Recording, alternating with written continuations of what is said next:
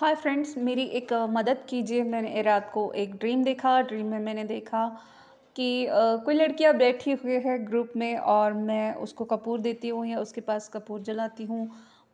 पास में ही, मेरे पास में ही, जैसे ग्रुप में ही हम बैठे हैं, वहाँ पे ही एक ग्रुप में ही जैसे बातें कर रहे हो चार लड़कियाँ और वहीं पे शिवलिंग हो।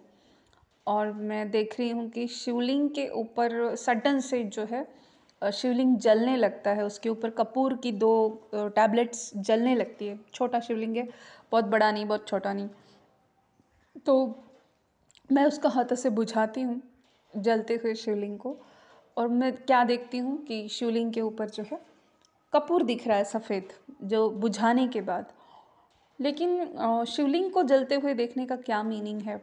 तो कहीं पे भी ये नहीं मिलता मीनिंग इससे पहले जब कोरोना आने वाला था, उस टाइम पे मुझे ड्रीम आया था कि मेरी स्टेप मौसी ओके मतलब सौतीली माँ की सिस्टर उसने जो है शिवलिंग की मतलब जिस थाली में मैं शिवलिंग, शिव परिवार, गणेश और नंदी को रखती थी मेरे घर में, शिरडी में जब मैं रहती थी, भगवान का घर नहीं था तो मैं थाली में ही जो है, भगवान की मूर्तियाँ रखती थी, शिवलिंग रखती थी।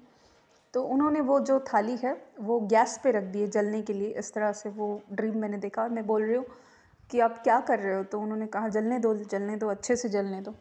तो ये मौसी पता नहीं क्यों हर बार शिव से क्या इसकी दुश्मनी है पता नहीं। तो इस बार भी मैंने देखा कि श्रावण में मैं बिल्ब पत्र चढ़ाने वाली थी। अ, किसी और के लिए मन्नत थी ये मेरे लिए भी करने वाली थी। तो एक महीना चढ़ाने वाली थी लेकिन पंद्रह दिन तक मुझे बेल का एक पत्ता भी नहीं मिल पाया। सडन से मैंने भगवान को बहुत प्रे किया। मुझे पहले ही ड्रीम में दिखाया गया कि तुम शिवलिंग पे जो बिल्वपत्र चढ़ाने वाली हो उसकी थाली तुम्हारी सौतेली मौसी चुरा के ले जाएगी। और मैंने बिल्कुल देखा कि मैंने जब बिल्व पत्र खरीदे तो मेरी स्टेप मदर बहुत जल गई। मतलब उसको वो बर्दाश्त नहीं हुआ उसका चेहरा एकदम जल के राख हो गया।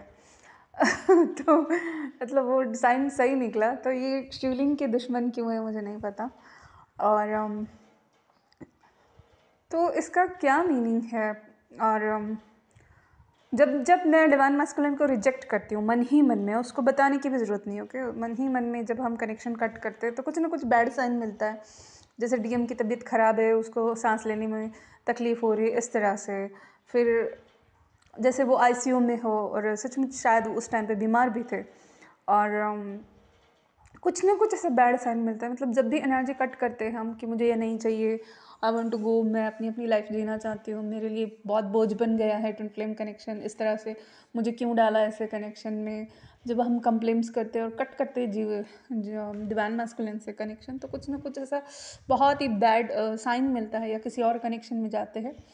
तो यहाँ डिवाइन मास्कुलिन का दिल टूटता है, भले वो आपसे नहीं बोलते बट टेलीपैथिक कनेक्शन जो इसीलिए दिया गया है आपको क्योंकि आपके डीएम आपसे बात नहीं करते। ड्रीम के थ्रू और टेलीपैथी के थ्रू आपको उनकी हर एक बात का पता चलता है कि अगर वो कोई मैसेज देना चाहते हैं या उनके साथ कोई गंभीर चीज़ हो रही है, कार्मिक कनेक्शन, क्या चल रहा है उनकी लाइफ में, जो मेन मेन चीज़ें हैं, इन ड्रीम्स के थ्रू, टेलीपैथी के थ्रू आपको बताया जाता है। तो नाइट को भी मैंने कनेक्शन काट दिया था क्योंकि डिवाइन फेमिनिन की ऐसी एनर्जी है कि ट्रस्ट इश्यूज़ जो है दोनों में आ सकते हैं कि भाई हम शायद ये हमसे प्यार ही नहीं करता। हमारी पूरी लाइफ इसकी वजह से मतलब वेस्ट हो गई, बर्बाद हो गई। इस तरह से भी जिन डिवाइन फेमिनिन की एज ज़्यादा हो गई, उनकी वो तड़प या फीलिंग हो सकती है कि इसने मेरी लाइफ बर्बाद कर दी इस टाइप की। तो वो भी एक रिवेंज या कह सकते हैं कि रिवेंज अब वो खुद की सोल से कैसे रिवेंज लेगी? तो मतलब खुद की आत्मा से बदला भी नहीं ले सकती। तो बेटर वे कि उस भूल ही जाओ कि मतलब ट्विन फ्लेम्स है, ये भी भूल जाओ। कनेक्शन को ही भूल जाओ।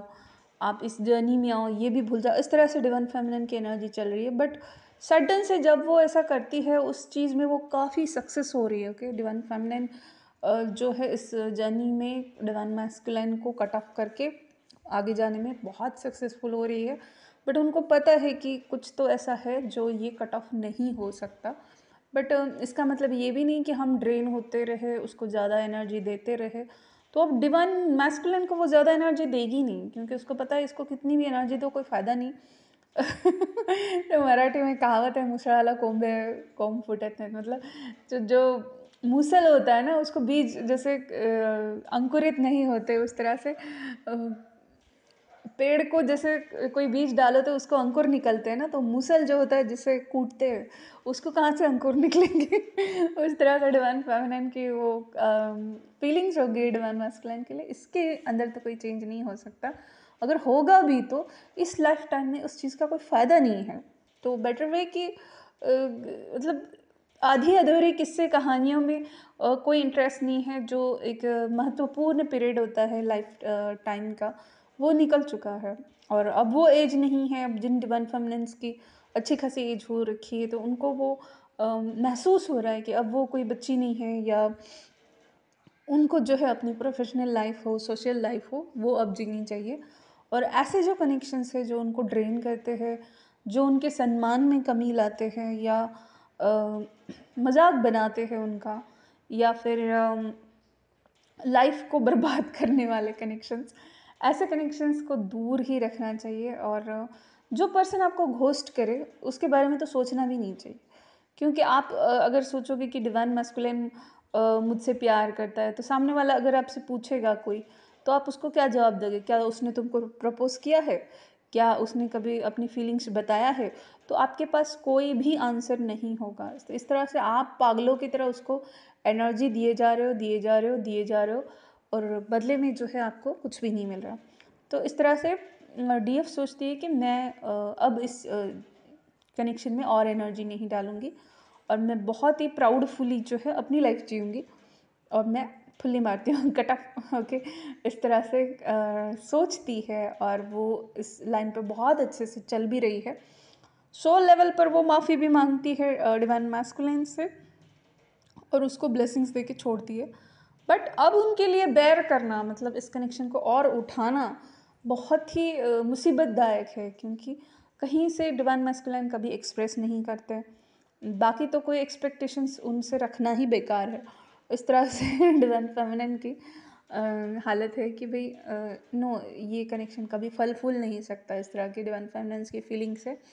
इससे अच्छा है, मैं अपने गॉड के साथ, अगर मैं अपनी स्पिरिचुअल साधना में जो हूँ टाइम दूँ तो शायद बहुत अच्छा होगा। बट जब जब वो ऐसा सोचती है, गॉड फिर उनको इसी कनेक्शन में ढकलते कि ये भी तेरी स्पिरिचुअल साधना ही है। लेकिन फिर वो कंफ्यूज हो जाती है कि ये कैसे स्पिरिचुअल जर्नी है कि एक पार्टनर जो है मिसबिहेव करता रहता है, वो इस जर्नी से कोई संबंध नहीं रखता या इस जर्नी को बिल्कुल देखता भी नहीं है। और बिल्कुल अपोजिट है इस जर्नी के। और क्या ये जर्नी सिर्फ़ अकेली डिवाइन फेमिनाइन की ही है? तो अकेली हो तो मैं क्यों आप अकेली हूँ यहाँ पे? इस तरह से डिवाइन फेमिनाइन की फीलिंग्स हो सकती है कि भाई मैं अकेली हूँ तो क्यों हूँ? मैं किस लिए हूँ? अगर ये मे जर्नी दोनों की है तो दो पार्टनर इसमें नहीं है। तो इस तरह की एनर्जी है तो डी डिया डिवाइन मास्कुलिन जो होते हैं ना आते हैं ना जाते हैं। मतलब ना उस एनर्जी को खुद कट करते हैं, ना वो हमेशा के लिए चले जाते हैं, ना वो आते हैं। इस तरह की एनर्जी में डिवाइन फेमिनिन को पसंद नहीं है कि अब वो ऐसी एनर्जी में रहे। तो जब जब वो एनर्जी कट करती है गॉड उनको फिर से साइन देता है कि you are not doing good तो तो इससे रिलेटेड है या एक और भी मीनिंग लग रहा है कि जैसे ये जब कोरोना टाइम पे ये थाली जो शिवलिंग की गैस पे रखा है ऐसा ड्रीम मुझे आया, उस टाइम पे कोरोना वगैरह हुआ और मतलब कोरोना की लहर वगैरह आई।